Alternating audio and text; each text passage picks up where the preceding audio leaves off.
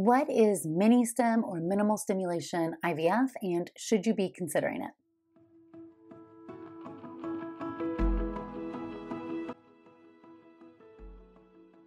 Hi friends, I'm Dr. Natalie Crawford. I'm a board certified OBGYN and REI.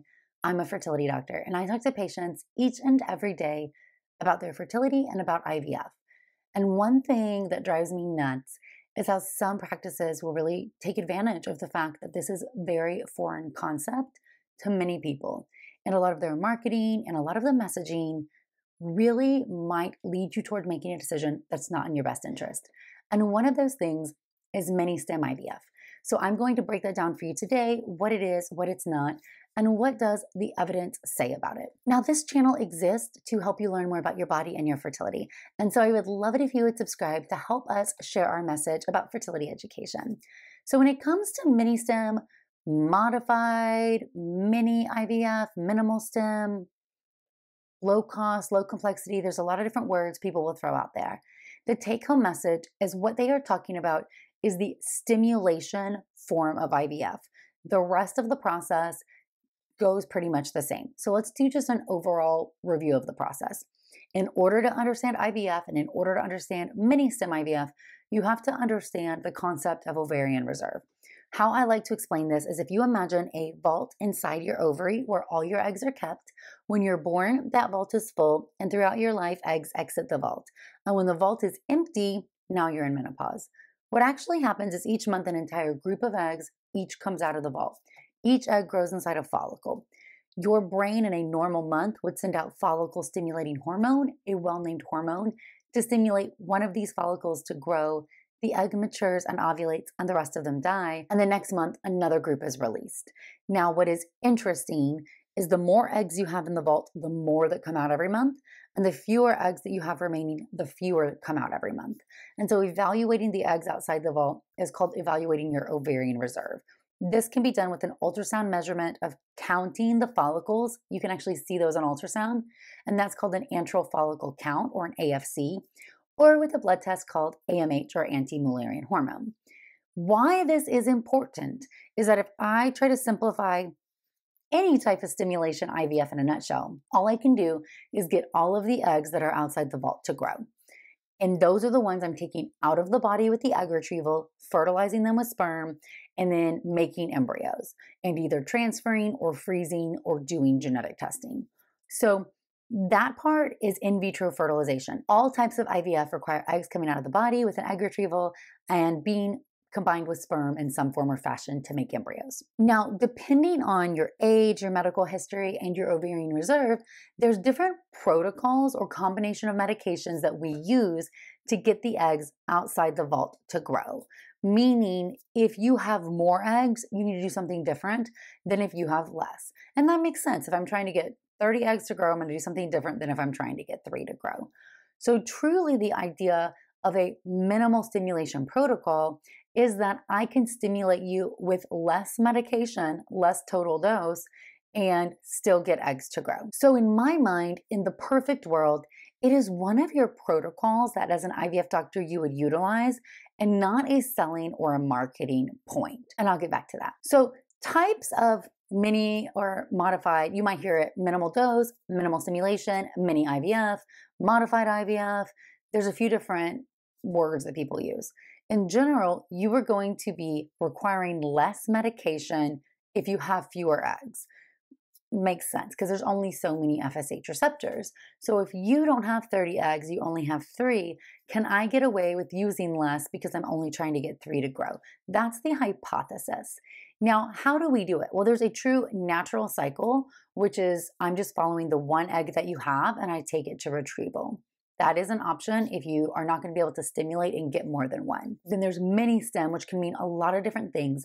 But in most studies, it means using either a pure gonadotropin dose of less than 150 units or using just letrozole or just clomid, so oral agents that increase the release of FSH, or a combination of both of them but still a lower dose of gonadotropin every day. And that's in contrast to conventional IVF, where you're using FSH plus typically an FSH LH combination or a higher dose gonadotropin total. Most conventional stimulation protocols started at dose closer to 300 total units a day versus MiniStim at 150 or less units a day. So in principle, I love MiniStim if you don't have very many eggs. Why do I need to give you all of these medications? Now, what do I not like? I don't like that there are places that are telling you that minimal stimulation IVF is giving you better quality eggs. There is zero evidence to support that because the eggs are the same eggs. They've been exposed to your same environment. The only thing that's different is the small dose of medication over less than two weeks of time, and that is not changing their quality. Quality is related to genetics, genetics are related to age. So, it could it save you money? Potentially, yes. Is it making your eggs better quality? Absolutely not. So that is a marketing ploy where people will say mini stim is better for you, it's more natural, you have better eggs, and there's there's zero evidence to support that. There is evidence to support the fact that for patients who are poor responders, doing a minimal stimulation protocol likely yields you the same amount of eggs and the same amount of blastocysts as a conventional stimulation protocol. And I even know in my practice, for somebody who I think is going to get six or fewer eggs, I lead in to a minimal stimulation protocol. It's typically a Clomid FSH overlap. I don't call it MiniStim and I'm not marketing that, but it is a protocol that I am selecting for that very poor responder patient. Now, I also see people who potentially have a normal ovarian reserve or high egg counts and they're doing a minimal stimulation protocol. And the important thing to remember here is that studies have not shown that minimal stimulation is beneficial unless you're a poor responder, meaning I don't need as much dose if you don't have as many eggs. So they're equal for the stimulation. MiniStim doesn't have a higher chance of giving me a baby, doesn't have a higher chance of giving me better eggs. But if you have a higher egg count number and now I am skimping on your stimulation, you're to walk out of there with fewer total eggs, fewer embryos because you purposefully understimulated somebody.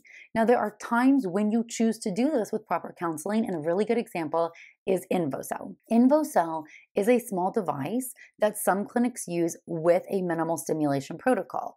With the InvoCell, you still go through the medications, the hormone shots, and you still do the egg retrieval, but then you put egg and sperm together in this device and incubate it inside the vagina, and then pull it out five days later, take an embryo and transfer it, and freeze if there's any others.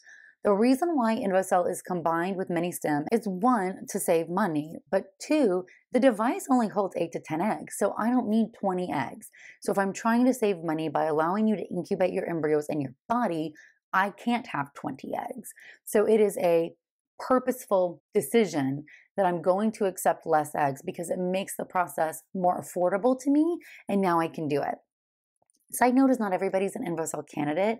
And I also see clinics throw InvoCell on patients who aren't great candidates.